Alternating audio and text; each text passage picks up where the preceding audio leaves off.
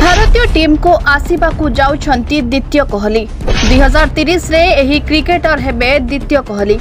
ତାଙ୍କର ବ୍ୟାଟିଂ ଦେଖି ସିଲେକ୍ଟର୍ସ ବି ହେଲେ ବିସ୍ମୟ ଗୁଜରାଟ ଟାଇଟନ୍ସର ଖେଳାଳି Sai Sudharsan Indian Premier League ଦୁଇହଜାର ତେଇଶରେ ତାଙ୍କର ଚମତ୍କାର ବ୍ୟାଟିଂ ଦ୍ୱାରା ପ୍ରଶଂସକମାନଙ୍କୁ ବହୁତ ପ୍ରଭାବିତ କରିଥିଲେ ଏବଂ ଏବେ ସେ ତାମିଲନାଡୁ ପ୍ରିମିୟର ଲିଗ୍ ପାଇଁ ଖେଳୁଛନ୍ତି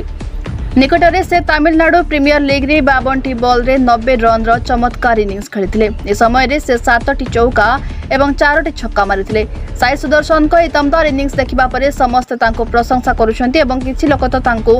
ଟିମ୍ ଇଣ୍ଡିଆର ଆଗାମୀ ବିରାଟ କୋହଲି କହୁଛନ୍ତି ତାମିଲନାଡୁ ପ୍ରିମିୟର ଲିଗ୍ରେ ସାଇ ସୁଦର୍ଶନ ଲାଇକା କବଇ କିଙ୍ଗସ୍ ଦଳ ପାଇଁ ଖେଳୁଛନ୍ତି ଏବଂ ଆଇପିଏଲ୍ ଦୁଇ ହଜାର ତେଇଶ ପରେ ସାଇ ସୁଦର୍ଶନ ମଧ୍ୟ ତାମିଲନାଡୁ ପ୍ରିମିୟର ଲିଗ୍ରେ ବହୁତ ଭଲ ପ୍ରଦର୍ଶନ କରୁଛନ୍ତି ତାମିଲନାଡୁ ପ୍ରିମିୟର ଲିଗ୍ର ପ୍ରଥମ ମ୍ୟାଚ୍ ଲାଇକା କବଇ କିଙ୍ଗସ୍ ଏବଂ ଇଡ୍ରିମ୍ ତିରୁପୁର ତମିଜ ଜସଲ ମଧ୍ୟରେ ଖେଳାଯାଇଥିଲା ଯେଉଁଥିରେ ସେ ଭଲ ପ୍ରଦର୍ଶନ କରିଥିଲେ ସାଇ ସୁଦର୍ଶନ ନିଜର ପ୍ରଥମ ମ୍ୟାଚ୍ରେ ପଇଁଚାଳିଶଟି ବଲ୍ରେ ଆଠଟି ଚୌକା ଏବଂ ଚାରୋଟି ଛକା ସହାୟତାରେ ଛୟାଅଶୀ ରନ୍ ସ୍କୋର୍ କରିଥିଲେ